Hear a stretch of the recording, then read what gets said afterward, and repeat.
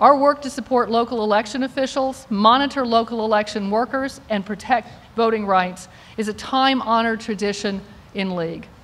Here to assist us in recognizing how best to focus our forces this year are representatives of some of our longtime partners in the fight to ensure that our elections are free, fair, and accessible to every eligible voter. First, we have Kristen Clark, the President and Executive Director of the National Lawyers Committee for Civil Rights under the law. Most of us are very familiar with the Lawyers Committee and the critical support the committee provides to voters on Election Day, as well as the landmark effort a couple of years ago to gather real data and real evidence in support of the Voting Rights Act. Kristen has also served as the head of the Civil Rights Bureau of the New York State Attorney General uh, General's Office, as well as serving with the NAACP Legal and Educational Defense Fund.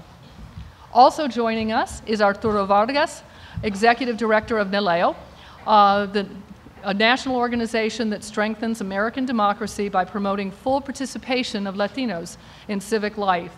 He also serves as Executive Director of um, the National, of NALEO Educational. Uh, Fund.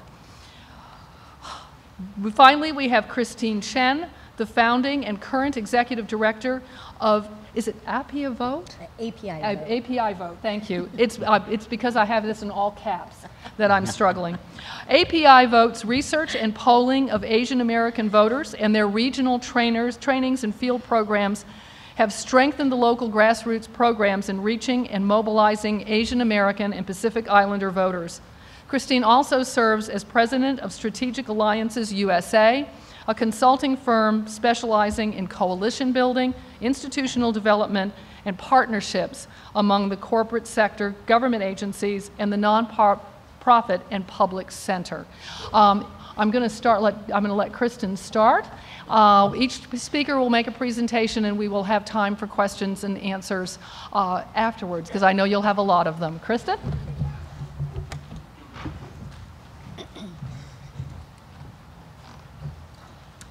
Good afternoon. I want to first start off by thanking President Elisabeth MacNamara for her leadership. And uh, thanks to all of you for the important work that you do in your communities around the country to safeguard access to the ballot box. Uh, again, my name is Kristen Clark. I'm the President and Executive Director of the National Lawyers Committee for Civil Rights Under Law, one of our nation's historic civil rights organizations.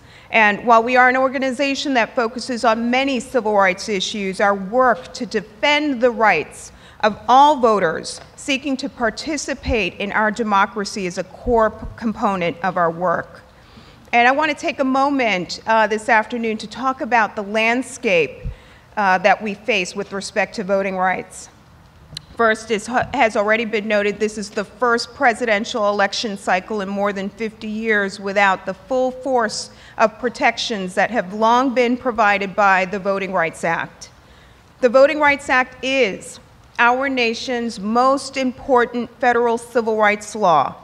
And the 2013 ruling, which was issued almost three years ago, gut the heart of the Voting Rights Act. That provision, the Section 5 preclearance provision, has provided strong medicine to help prevent, block, and deter voting discrimination in many parts of our country. Since the Supreme Court's ruling, we have seen the resurgence of discriminatory voting changes in the very jurisdictions where Section 5 had been in place. We are now living through an era where we are experiencing discriminatory and burdensome photo ID requirements for voters, cuts on early voting opportunities, and purges of the voting rolls. Second, we are also moving into this election cycle at a moment where we saw the lowest levels of voter turnout that uh, we have ever seen in more than 70 years in our country. During the 2014 midterm election cycle, only 36.4% of eligible Americans turned out to vote. That number is shameful. An important question to ask is whether that low turnout rate is the direct result of the resurgence of discriminatory voting changes that we have seen in the wake of the Supreme Court's Shelby County ruling. Third, this is an election cycle in which we have seen more restrictions on the right to vote at the state level uh, that we have seen in more than 50 years. There are 17 states with new voting restrictions in place for the first time. Not just photo ID, we're talking about strict, burdensome documentary proof of citizenship requirements for people who are seeking to register to vote. As a result, there are a tremendous number of cases that are currently being litigated in courts all around the country. And I want to highlight some of the gravest threats that we face. Texas is the poster child for voter disenfranchisement at this moment. Among all the efforts around the country that we are seeing, none is more worse than Texas. On the day that the Supreme Court issued its Shelby County ruling, the Texas State Attorney General, on the very afternoon uh, following the Supreme Court's ruling, announced that he was moving forward with mandatory government issued photo ID for voters. And so that means that unless you have a driver's license or a passport or a military ID card or a gun license that you cannot vote in the state of Texas. A student ID is not going to cut it, but a gun license does. And let me tell you what's so problematic about the Texas law. There are 600,000 registered voters who were disenfranchised as a result of Texas's law. 600,000 people who had routinely gone out to vote, were eligible to vote, uh, who were rendered uh, disenfranchised as a result of that state's law. This is a law that has an impact on African Americans and Latinos and minorities and the elderly and students. This is a law that has an impact on poor people. 21% of eligible Texas voters with incomes under $20,000 lack photo ID. When you look at people in the income bracket between 100 and 150,000, they're only 2% uh, without qualifying ID. Texas photo ID laws are also is sexist. There are more than 1 million people with gun licenses in the state of Texas, and let me tell you what they look like. of that 1 million, 6.6% of them are African Americans, 6.6% and only 26% of them are women. So I'll say again Texas's photo ID law is sexist. North Carolina. North Carolina, also on the uh, other side of the uh, poster, put in place a monster voting law. In North Carolina, they decided to do away with same day registration. They decided to cut early voting opportunities. They decided to strike pre-registration opportunities for 16 and 17 year olds. And we are fighting the battle in the courtroom now against North Carolina's efforts to turn the clock back. So where do we go from here? Where do we go from here? One, we need to champion a pro-democracy agenda and continue to push for universal suffrage. suffrage. We need more foot soldiers in this war. At the Lawyers Committee and in partnership with many civil rights organizations and many of you, we lead the nation's largest nonpartisan election monitoring effort, the Election Protection Program, 866 Our Vote. So far in 2016 alone, we've heard from tens of thousands of voters who have called to report problems that range from, I can't meet the photo ID requirement in my place and I want to vote, to the machines are malfunctioning at my polling site, to they've changed my polling site at the last minute, I never got notice, to they told me that they don't have ballots yet, and to come back several hours later.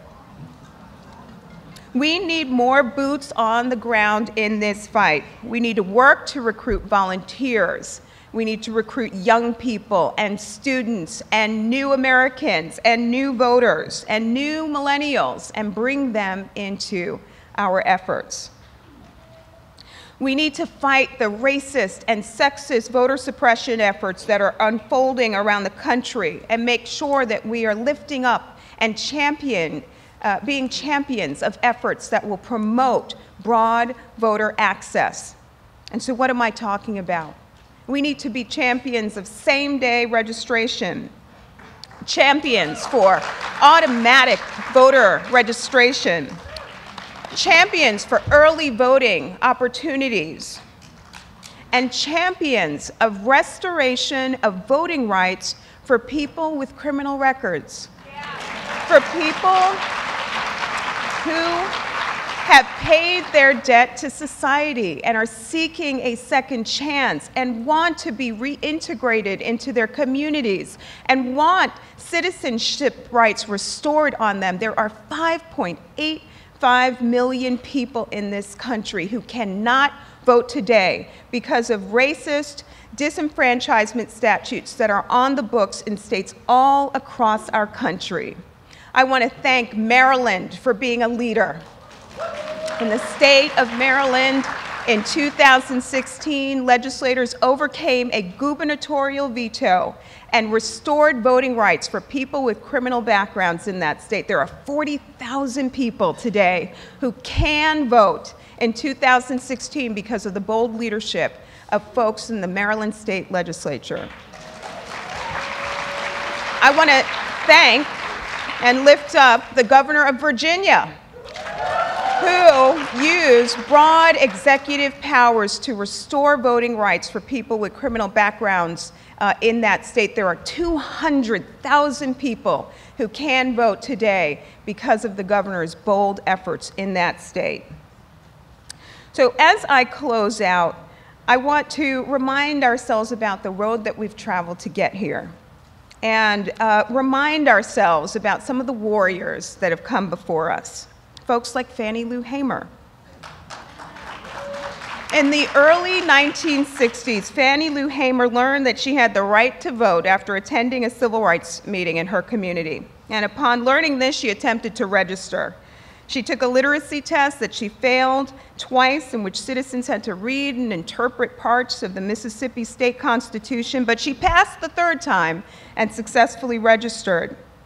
And although her registration efforts were successful, she faced violence at every turn from the KKK and other racist elements in her community. And in 1964, she spoke about civil rights issues at the Democratic National Convention and recounted her experiences, including the beatings that she had faced and endured. Hamer saw black suffrage as a way to improve African Americans' conditions in our country by allowing them to choose politicians that would effectively represent their interests. The work that Fannie Lou Hamer uh, performed uh, helped to lay the groundwork for us today. We are all Fannie Lou Hamer. So, as I close out, I encourage you to carry forth her torch and carry forth the legacy of the work that she did to promote univer universal suffrage for all of us. Thank you.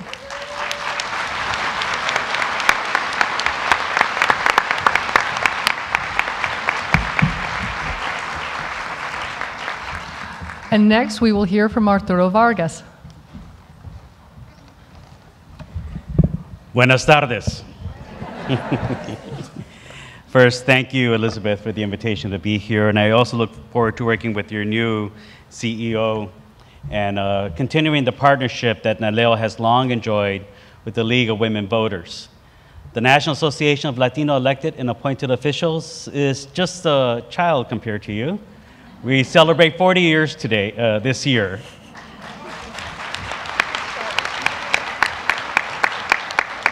We were founded by the late Congressman Edward R. Roybal, a true pioneer in himself, uh, to form a national network of political and community leaders to move forward a nonpartisan agenda to ensure that our community can fully participate in American democracy. The NALEO Educational Fund is a 501c3 nonprofit organization, and that's the entity with which we partner so much with your state leads, your local leads, And I am so humbled to have been, had our organization recognized by your lead in Los Angeles for the partnership that we have done together. Kristen laid out, I think, a very remarkable overview of the state of voting rights in our country. Voting rights are under attack. And the Shelby decision was more than just the first volley in that attack that we're enduring. Since 2012, 19 states have passed measures, either laws or impl- implemented administrative changes that will directly affect nearly 900,000 Latino US citizens in their ability to cast the ballot. Now, there are millions of Latinos who live in the States with these restrictions. But we did an analysis of how many Latinos actually will be touched and affected by these new laws and administrative changes. Kristen mentioned Texas. I eat Texas. it must be something in the beef.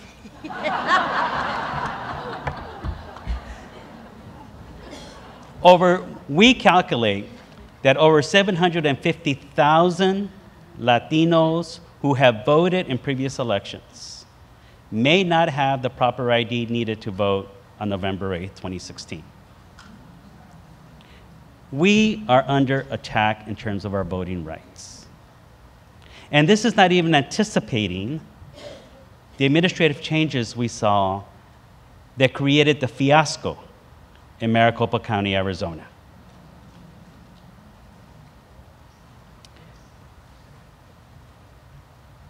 So we too at NALEO are working hard to try to deal with this attack.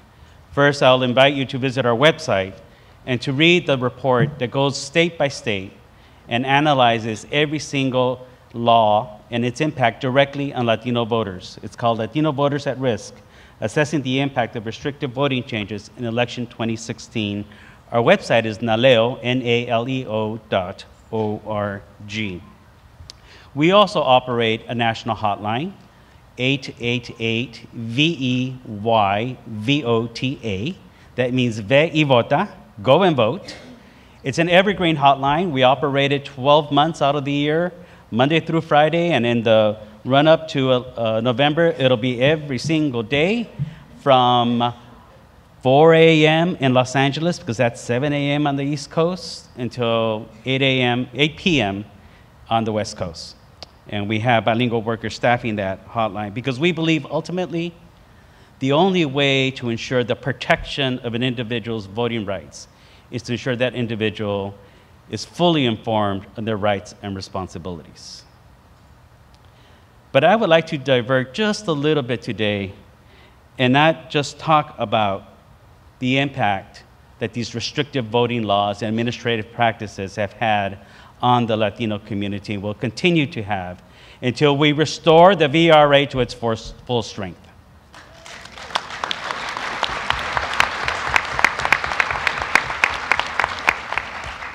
And on that point, I will underscore it is voting rights that has in this country's history and tradition been one of the issues that truly has been bipartisan. And we look for the leadership from the Republican and Democratic parties to get this job done and modernize the Voting Rights Act. But I'd like to speak about something a little different about what is affecting the ability of Latinos to vote. And I am now convinced well, first of all, these, all these restrictive voting rights laws, people have asked me, why now? Because we're making a difference. Because our people are voting, because they're having an impact, because those in the status quo political power want to retard and stop and slow down the inevitable. But it won't happen by itself.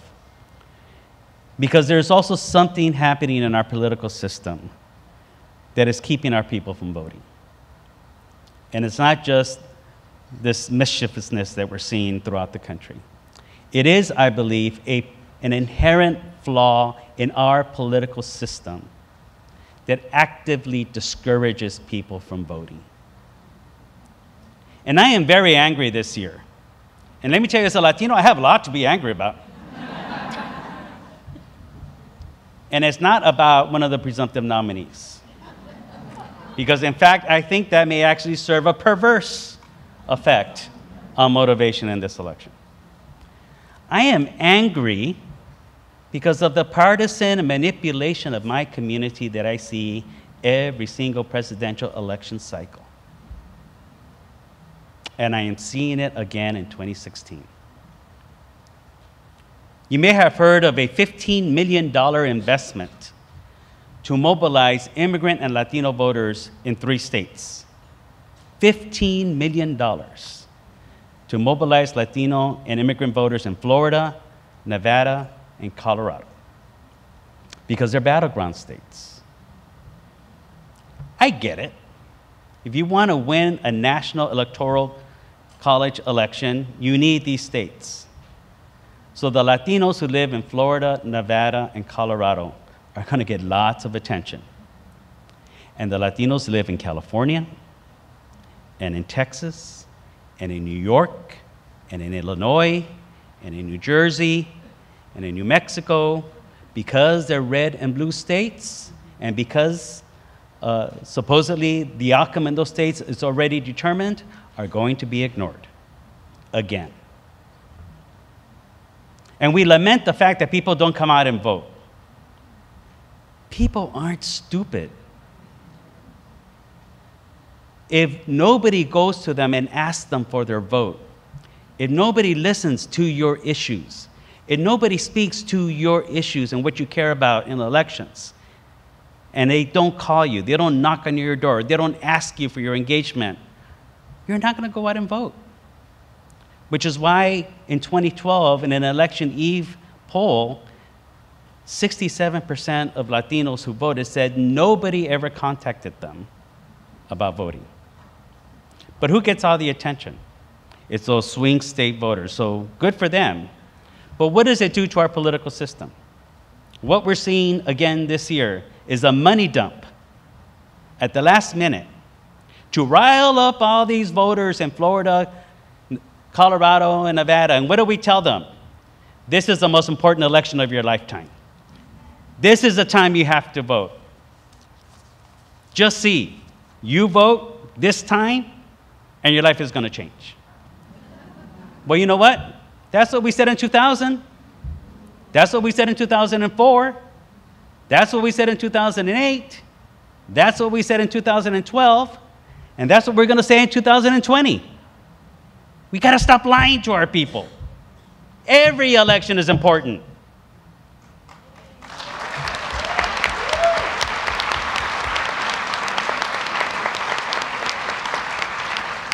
And so what happens?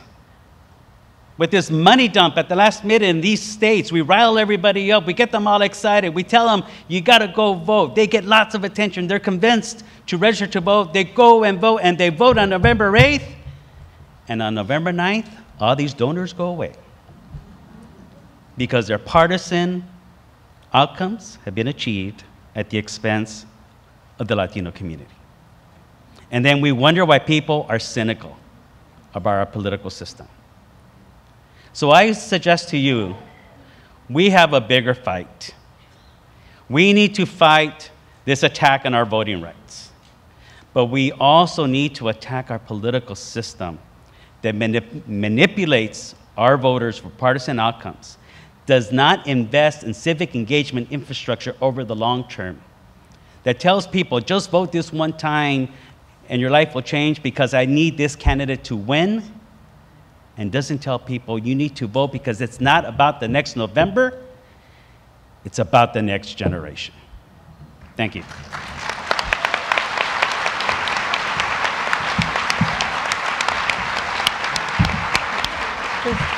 Christine? Good afternoon, everyone. And I, I, would also like to thank the League for this great, wonderful partnership. You know, for API Vote, Asian and Pacific Islander American Vote, we're actually the baby. Uh, we've, we've only been around as an institution for about a decade.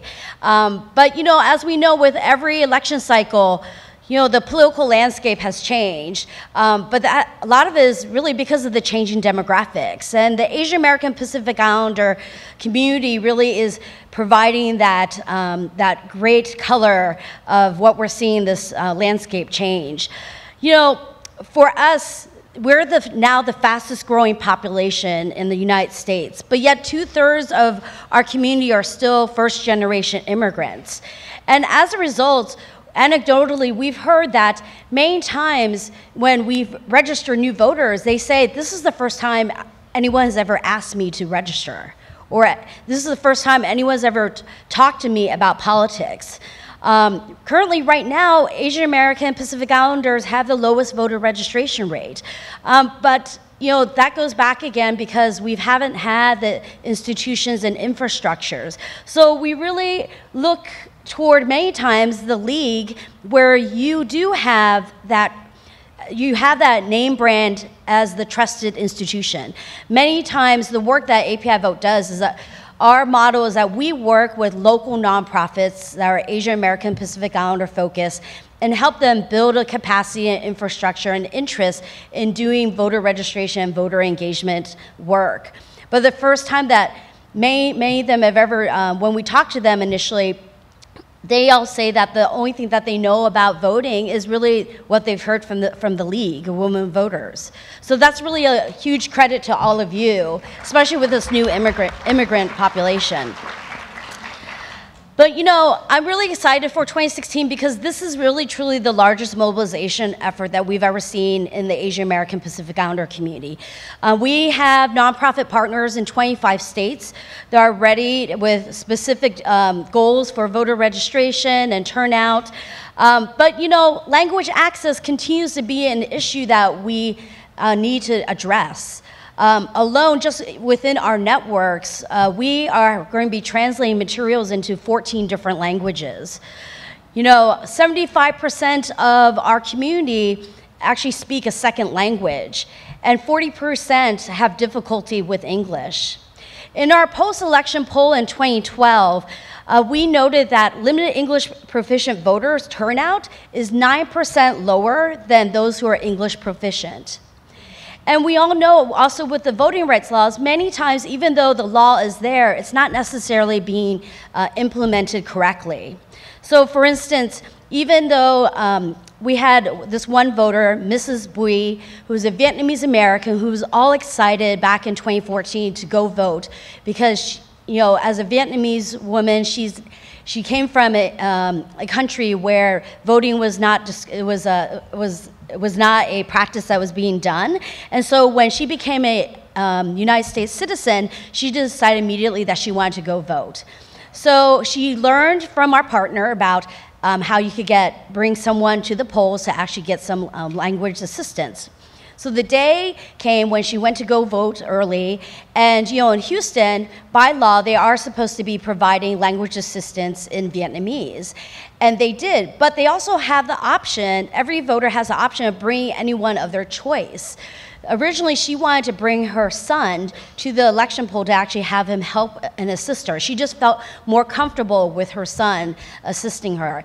But he was actually turned away, and she was told that um, she would need to utilize the translator that they actually had provided. Also, like in Minnesota, you know, we had our nonprofit partner um, where they were ready to actually, they've had, leading up to the elections, had identified Hmong voters that wanted to be picked up, taken to the polls, and then um, provided language assistance.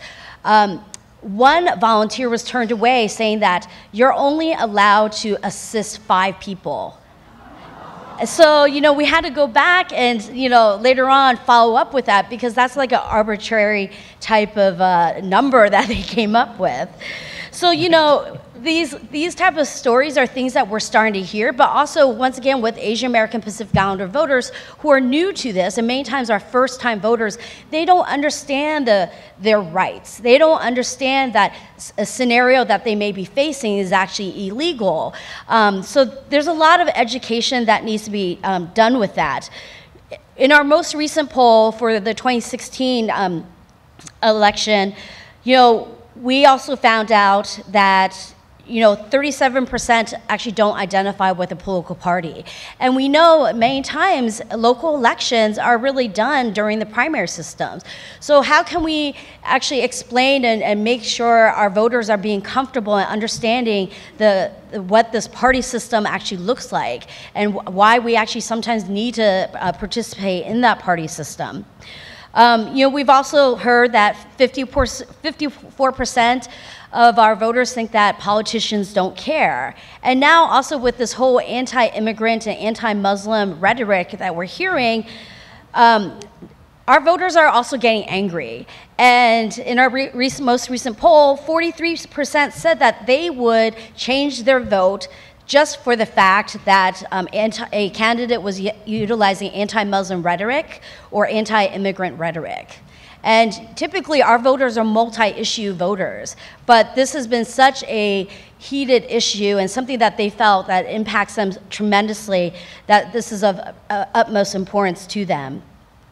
So, you know, with that, you know, there's a lot of work that needs to be done, and uh, we recognize that the Asian American Pacific Islander community is very diverse, but I think the dream of really becoming part of this um, American fabric is very much there. It's just that we really need the League's assistance and partnership on the local level to really help our institutions who are very new at this, um, who would love to actually understand how do we conduct a candidates forum? How can we get more assistance in, um, um, you know, educating our community, our voters about what type of assistance that they could actually provide. These are lessons that we have learned because API Vote, as with our partners, Asian American Advancing Justice, AAJC, uh, coordinate the 888 API Vote hotline. And so, with that, we provide language assistance in Chinese, Korean, Vietnamese, Tagalog, Urdu, Hindi, and Bengali. This list has actually continued to expand as we've been bringing on new partners and new communities are entering into, um, um, into this fabric in terms of the work that we're actually doing. So I look forward to continuing this conversation and really uh, talking directly about what are some of the strategies that we could do and implement together. Thank you.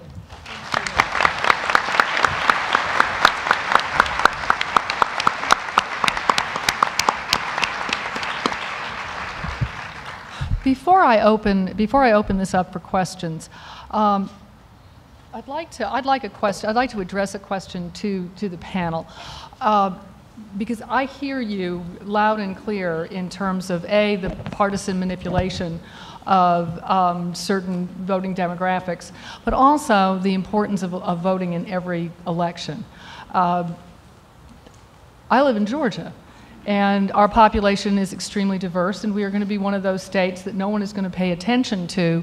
And yet, in statewide elections,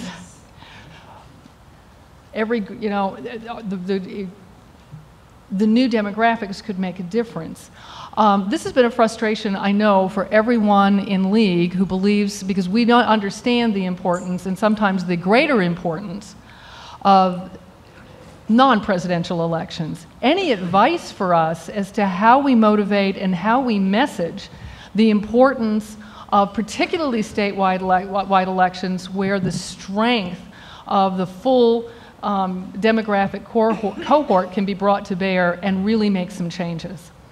Uh, and I will open this up to anyone or all three of you who would like to answer. well, I'd like to um, re respond to at least part of that question. One, we are paying attention to what's happening in Georgia, and it's oh, I know you are. uh, Hancock County, Georgia is a place where local election officials decided that they're going to clean up the registration rolls. And they undertook a purge of 20% of registered voters from the town of Sparta in Georgia. And we look, when we looked closely to see who they struck, we found that the vast majority of them were African American. We don't have Section 5, so we filed suit, and that lawsuit is playing out today. We are going to fight to defend the rights of people who are legitimately registered to voters, long time uh, African Americans uh, in the town of Sparta who want to participate in the political process there. Macon Bibb County, Georgia. Local election officials thought it was a bright idea to move a polling site out of the black community into a local sheriff's office. We fought, uh, we arm wrestled with them, and then finally we invoked a, a, a, procedure in state law that's not used often, a petition procedure. And we were able to gather enough petitions working with advocates on the ground to push back and get the election officials to move the site out of the sheriff's office and back to a black church uh, in the black community there. So, Georgia, Georgia is keeping us real busy. But I'm glad you asked this question. You know, there is increased attention all around our country right now on the criminal justice crisis that we face in so many communities around our country. Police brutality, excessive use of force, the death of unarmed civilians, too many of them African American men and boys. And I think that if you care about criminal justice and the crisis of mass incarceration in our country, you have to care about the right to vote. Mayors, elected mayors, are the ones who install police chiefs, who oversee so many of these problematic police departments. Sheriffs are elected officials in many communities across our country. And DAs, district attorneys, tasked with the responsibility of making decisions about whether to hold police chiefs accountable are elected officials. So I think that there is a new and different way for us to talk about why the right to vote is so important. Yes, it's important because there are many people who have fought and bled for us to have the right to vote. But we've got to translate this right into the issues that are playing out and plaguing so many of our communities right now. And criminal justice, I would put at the top of that list. Thank you. Anyone else? Or, or so, um, I just I also wanted to note that, you know, especially with the Asian Pacific Islander community, they're first time voters, or maybe they've only gone through one election cycle. So as a result, their voting history is what is called a low propensity voter. Um, so many times campaigns, when they're looking at, once again, targeting voters and they have um, XYZ amount of funding, they're focusing on those that are voting on a regular basis and ignoring this new base of voters. So this is where um, what we found is like in 2015 when we uh, were working here in Virginia in the local elections, we sent out mailers and we did phone banking to our uh, base of voters. And we got a lot of calls on our hotline saying, oh, until I got your mailer, I didn't know there was an election, right? So this goes back again that we need to focus on these new uh, voters, and because we know that the campaigns are not paying attention to them. So uh, we really rely on other partners to help us um, touch that. And you know, we also recognize that for communities that are limited English proficient, maybe we can't translate everything, but can we be creative, uh, such as in Seattle and Oregon, where they host ballot parties in Korean and Vietnamese and Chinese. So that way they actually go through the ballot in language and they have a community and, and, and they can learn from one another on that.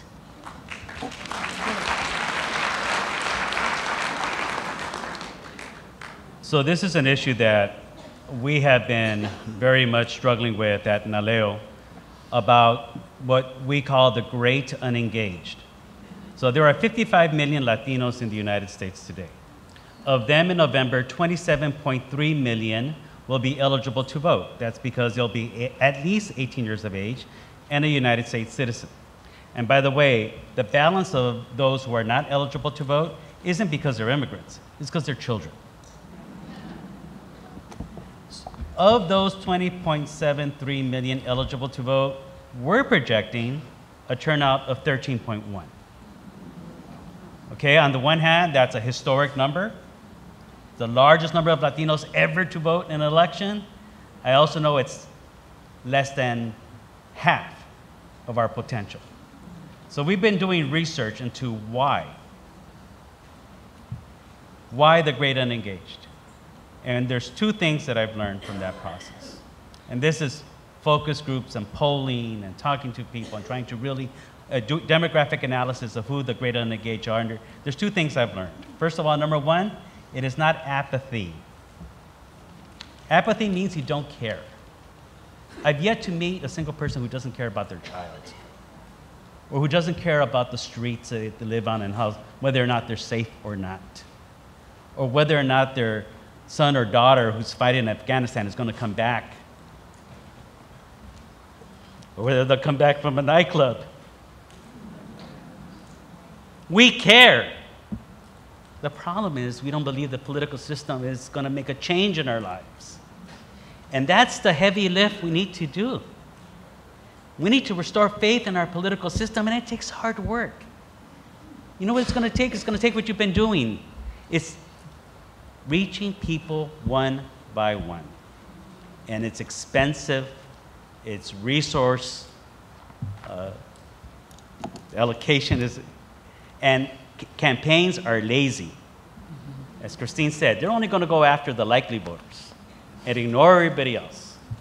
So we have to hold our own political systems and leadership and candidates and campaigns accountable about how they invest and engage in our communities.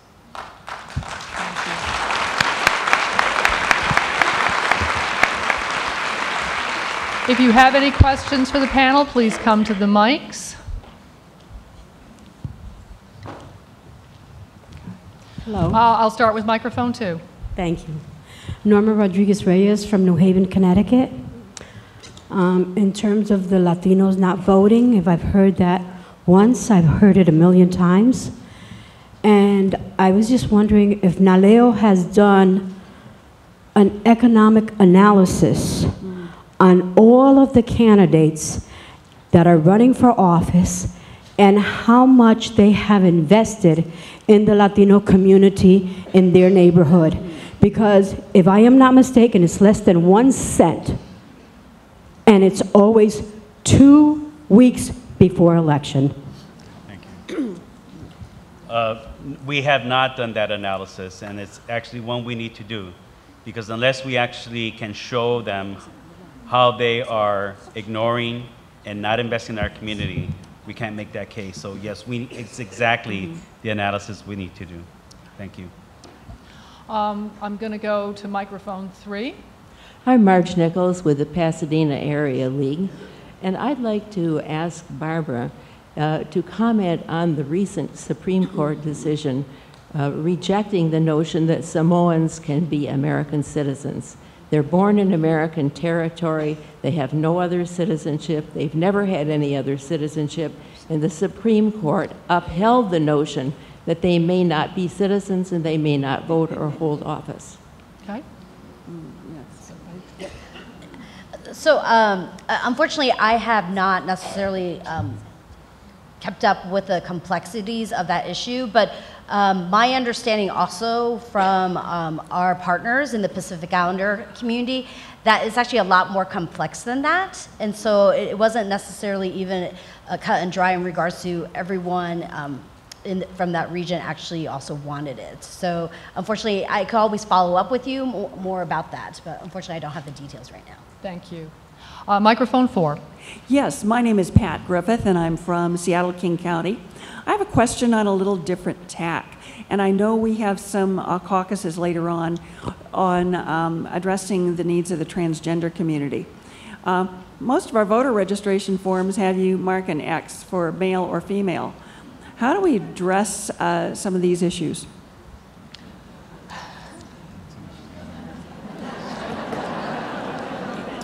Kristen, can you can? I can address that. You know, I, I, I'm glad you raised, we're all looking at each other saying, good question. Yes. Very good um, question. Yeah, right. This is the, the new frontier. And I think, you know, we are encountering uh, a lot of the questions, the important questions that need to be asked uh, right now for the very first time. So I'm, I'm glad that this was raised, and I think that it's something that we need to put our heads together about and, and think about what are the, the recommendations, the smart recommendations that we should be putting forward to election officials. I thought, I thought about this the other day when I got um, an invitation from the White House.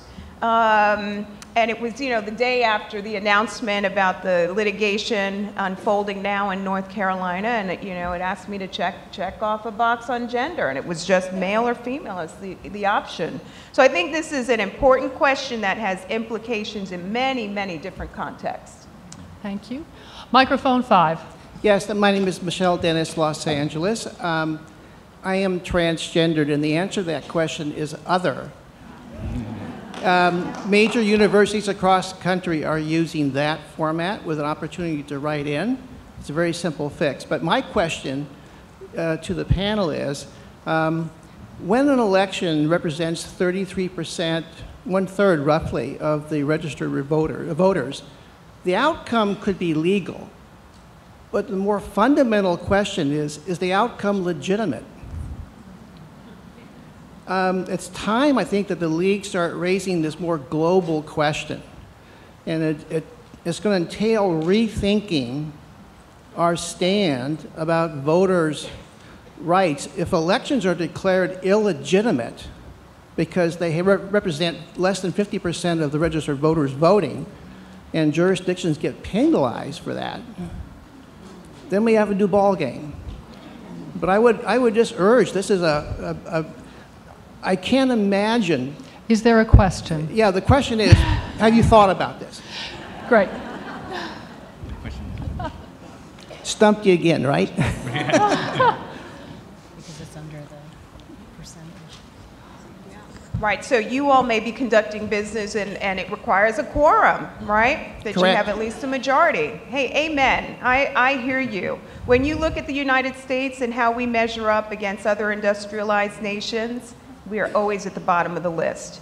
And uh, I hear you calling into question the legitimacy of election electoral outcomes when we have 10%, 20%, 30% of, of, voters participating. And I think you, you raise an interesting way for us to think about how we can incentivize election officials to not throw up barriers, but to do the real important work that they should be doing to make sure that eligible people in their communities are turning out, are able to successfully cast a ballot on election day. You got it. Thank you. Microphone six. My name is Grace Shemaine. I'm with the League of Women Voters of Texas. And we are working very hard uh, with the Be a Texas Voter campaign to coordinate the nonprofits and other, other organizations in Texas that have client contact to try to get them to also promote voting. Do you have any messaging for your different groups uh, that you think we should use to try to encourage nonprofits to participate with us? Encourage nonprofits. Nonprofits, Grace, or, or voters? Non the, there's only uh, nonprofits. I want the nonprofits to start promoting voting. Gotcha. So, so it's collaboration. Gotcha. Um, and you're from Texas. I just want to give a shout out to the Houston lead of the League of Women Voters for the terrific work we're doing together to register people at naturalization ceremonies there. Wonderful. Excellent. I think this is one where we need good uh, education to the nonprofit community about what you can do mm-hmm. to engage the public in civic engagement. Many nonprofits shy away from voter engagement because they believe it is either too political, it will endanger their funding. Uh, so we need to do a better job of informing the nonprofit field about what they can do okay. uh, so that they can get over the fear that they may be somehow risking either their nonprofit status or their funding because they may be perceived as engaging in political activities when in fact at C3s we can encourage people to participate. Right. Thank you. Microphone one.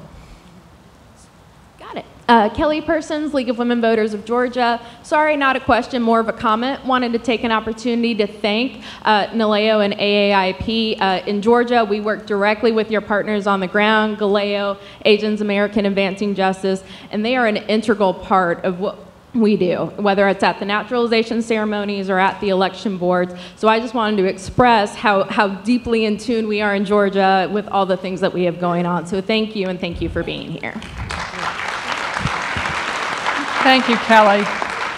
And shamelessly, thank you for all the work you're doing too at naturalization ceremonies. Um, microphone two. Hi, I'm Patricia Carter from um, Cleveland, Greater Cleveland uh, League. I have a question and um, concern. Uh, Mr. Vargas, I reach out to the, uh, the organization on campus at Cleveland State University, and it's called Latinos Unidos. And basically, when they graduate, I try to get them to register, but they decline. How can I improve my reach to them? Yeah. So one thing I would uh, be careful about is don't assume that because they're turning 18 that they're eligible to vote. Because one of the things that we have been working very closely with our friends who are developing automatic voter registration systems, like our former national president, Alex Padilla, the Secretary of State of California, is do, n- yeah, right? Is let's not inadvertently register somebody who's not yet eligible to vote because they're not a citizen. So we need to be careful about that. Uh, but I think what we need to do is not wait till somebody turns 18. You know, just, just imagine, imagine if we did our work today to encourage people to vote in the election of 2032. What would that look like? For one, we would know that there will be 17.1 million more Latinos eligible to vote in the year 2032. And you know where they are? They're in our classrooms. Let's reach them as young and teach them that. And I'm, what I'm suggesting is that it's a long term strategy that we need to do to work with our youth as children, as young people, so that when they turn 18 or they graduate from college, it's something we all do is register to vote and vote. Thank you. We have time for, we have time for one more question. I'm going to go to microphone three. I'm Lolly Watt with the League of Women Voters in Wilmette, in Illinois. And I'm an adult immigrant, naturalized American, bilingual in English and Bengali. And I would urge the League to really look at bringing naturalized Americans into our organization in a much broader way.